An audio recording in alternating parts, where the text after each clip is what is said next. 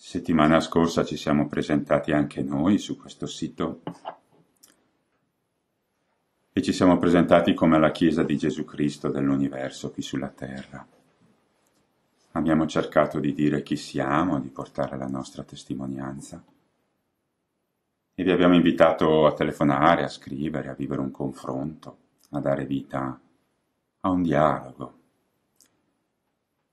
E cercheremo andando avanti di rispondere alle domande che avete fatto. Abbiamo già detto che non siamo contro nessuno, che non siamo in alternativa a nessuno, però questa settimana penso avrete visto e letto il messaggio di Dio Padre e in quel messaggio, in quel giorno, due giovani si sono consacrate nella fondazione.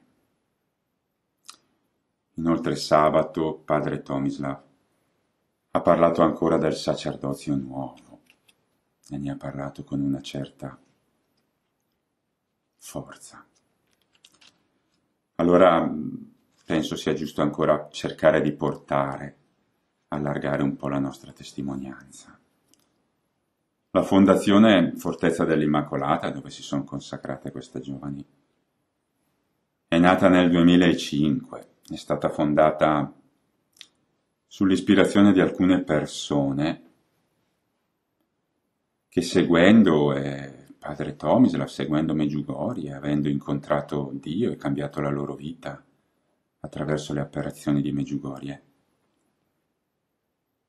hanno deciso di donare dei beni e di formare questa fondazione per divulgare e promuovere il pensiero di Maria Santissima espresso a Meggiugorie.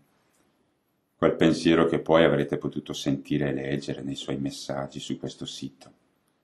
Il vero motivo delle sue apparizioni e del suo rimanere qui in mezzo a noi, della sua presenza sulla terra. Noi sapete che ci definiamo mariani e francescani. Per noi Maria è un passaggio obbligato per arrivare a Cristo e per lasciarci portare da Cristo nello Spirito Santo a Dio Padre. Non è un soprammobile.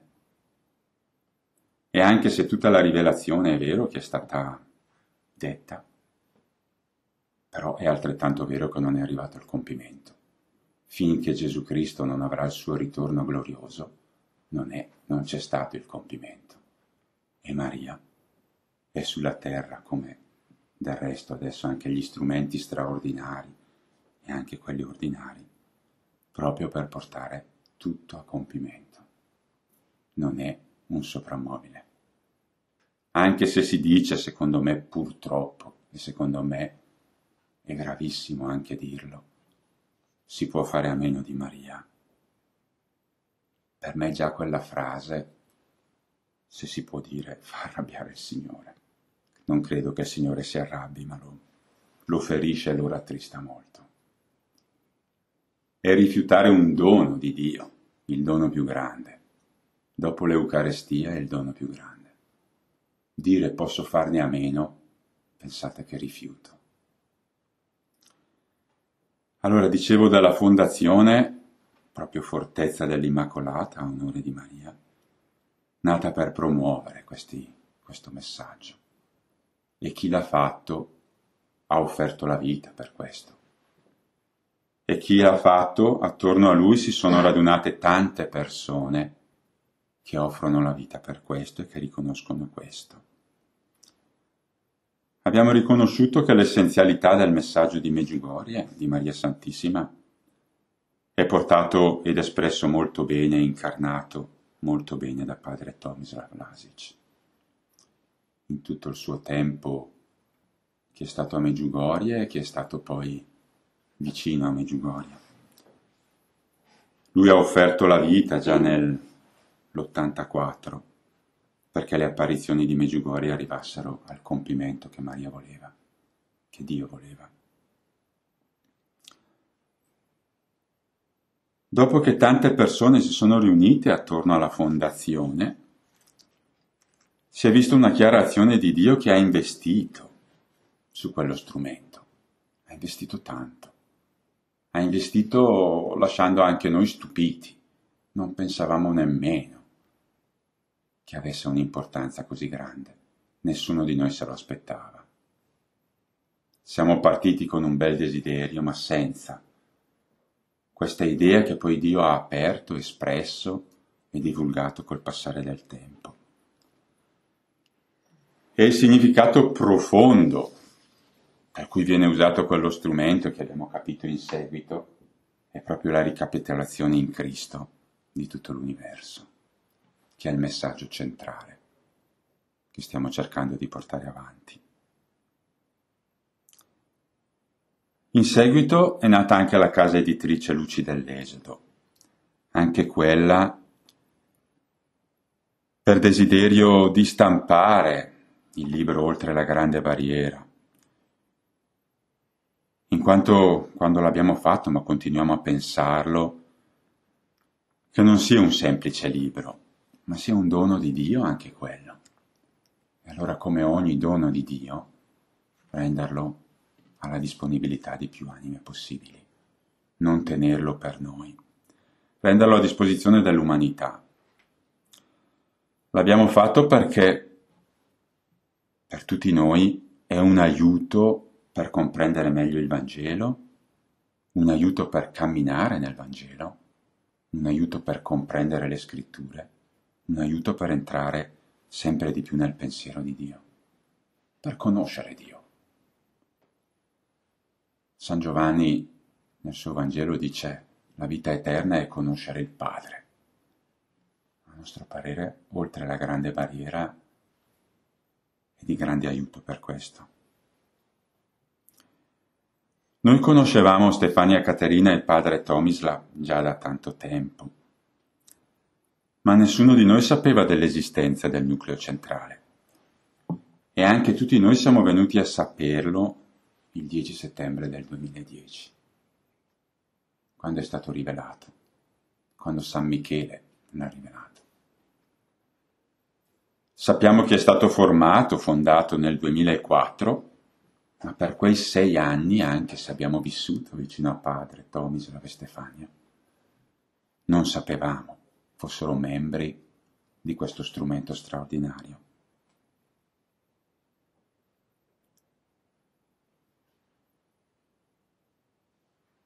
Ho detto che il libro Oltre la grande barriera e tutti gli scritti che poi sono venuti in seguito, tutte le riflessioni, tutto l'accompagnamento che padre Tomislav ha fatto nel suo sacerdozio, ha fatto camminare tutti noi in una vera trasformazione cristiana.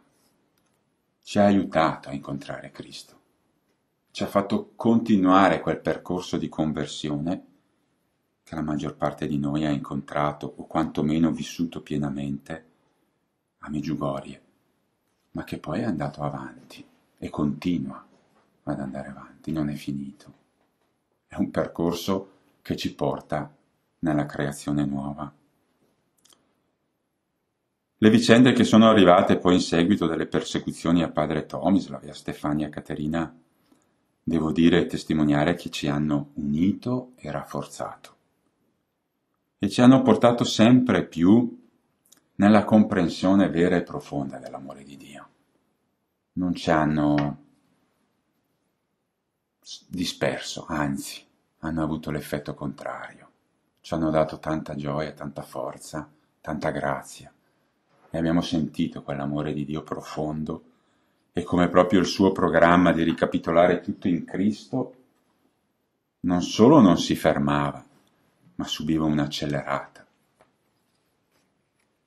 attraverso ogni vicenda che poteva sembrare un blocco. Noi diciamo, perché lo crediamo, ma lo possiamo anche testimoniare, che Maria ci ha generati. Maria Santissima ci ha generati. Ci ha generati e ci ha portati a Gesù Cristo. E lei, Maria Santissima con San Giuseppe, sono per noi, come abbiamo sempre detto, un padre e una madre, ma non in senso romantico. Un padre e una madre che ci accompagnano nel nostro percorso, nella nostra trasformazione. Non una mammina e un papino che ci aiutano, che ci proteggano, quello è un di più. Ci accompagnano nella trasformazione interiore. Possiamo dire, abbiamo detto di essere francescani, che San Francesco e Santa Chiara sono sempre con noi. Abbiamo un'unione particolare con loro, un amore particolare noi verso loro e loro verso di noi. Ci accompagnano gli angeli, gli arcangeli, ci proteggono i fratelli fedeli, tutti i santi e il purgatorio prega per noi. E da questo percorso proprio, se si leggono i messaggi dall'inizio alla fine, si è arrivati alla Chiesa di Gesù Cristo dell'universo, alla sua rivelazione, alla sua presentazione e al dire adesso che qui sulla terra sta operando. Ho già detto che siamo parte dalla Chiesa di Gesù Cristo dell'universo, viviamo tutti i valori cristiani, viviamo appieno il catechismo, viviamo tutto l'insegnamento di Gesù Cristo, devo dire cerchiamo di viverlo, non siamo perfetti, ma quella è la nostra strada. Non ci schieriamo però né coi conservatori né coi progressisti della confessione cattolica. Non stiamo né da una parte né dall'altra, cerchiamo di stare con Cristo, con Gesù Cristo. Lasciamo a Dio di far emergere la sua Chiesa, l'unica Chiesa che c'è da sempre e che ci sarà per sempre quella che lui ha fondato e contro le quali le porte degli inferi non prevarranno, quella di Cristo. Siamo consapevoli, e cerchiamo di farlo, che a noi spetta solo di vivere da figli di Dio. Spetta solo di lasciarci trasformare nella vita e di, e di diventare uomini del Vangelo. Spetta solo di appartenere a Cristo al suo spirito, perché lui possa condurci al Padre nello Spirito Santo. Sappiamo che Dio ha figli ovunque, in qualsiasi religione. Sappiamo che ci sono figli di Dio perseguitati, soffocati e anche figli di Dio che non sanno di essere figli di Dio come diciamo noi, che hanno detto anche sì al concepimento, ma che si sono poi incarnati nella loro vita anche in altre confessioni religiose.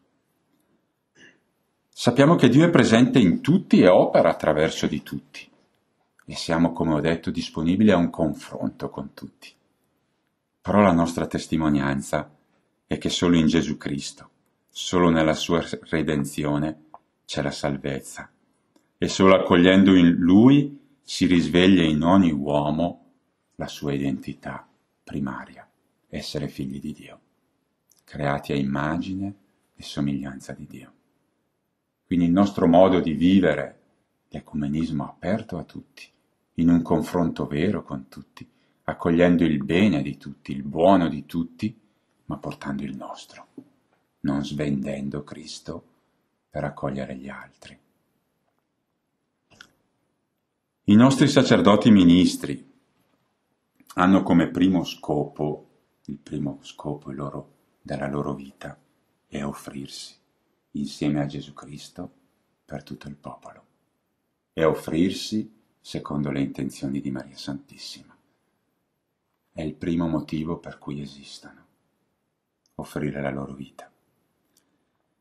Il secondo scopo è cercare di fare di tutto e in tutti i modi per risvegliare nel popolo il sacerdozio regale, il sacerdozio comune di ogni uomo e ogni donna. E il terzo, se si può dire, quello che poi è cosa di ogni giorno, accompagnare, indicare, sorreggere ogni uomo che ci ha affidato e indicare a loro Gesù Cristo, unica via, verità e vita. Indicarglielo però concretamente, in tutte le situazioni della vita che il nostro popolo vive. I nostri sacerdoti vivono nei santuari, dove anche altre persone consacrate a Dio attraverso la Fondazione Fortezza dell'Immacolata vivono, offerti per questo, per accompagnare poi anche chi vive una vita di tutti i giorni, normale, di lavoro, di matrimonio, quello che è. I nostri sacerdoti ministri hanno questo scopo che ho detto. Non sono sacerdoti di un sistema, non promuovono nessun sistema, non promuovono nemmeno la Fondazione Fortezza dell'Immacolata. Non si offrono per nessun sistema, non hanno il, lo scopo di radunare anime, di sorreggere la fondazione, di aumentarne il numero, assolutamente no, ma hanno lo scopo di promuovere la, loro, la vita di Dio, la vita di Dio che sta in ogni uomo.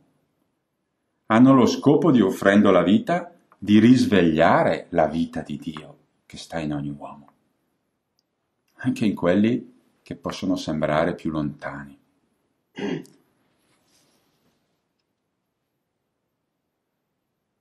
Perché esistiamo?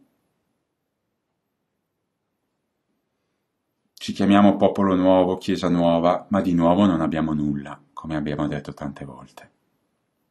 È nuovo perché in Dio tutto è nuovo è nuovo perché, come ho detto prima, anche se purtroppo spesso si senta dire la rivelazione è finita, è finita con il Vangelo, è finita con gli atti degli Apostoli, è finita con le lettere di San Paolo e degli altri Apostoli. Non dimentichiamo però che c'è anche l'Apocalisse che completa la rivelazione, ma la rivelazione non è compiuta il nostro esistere è per permettere a Dio, perché lo riconosciamo, di portare a compimento. E noi diamo la nostra vita per questo. Anche oggi vi abbraccio e benedico nel nome del Padre, del Figlio e dello Spirito Santo. Amen.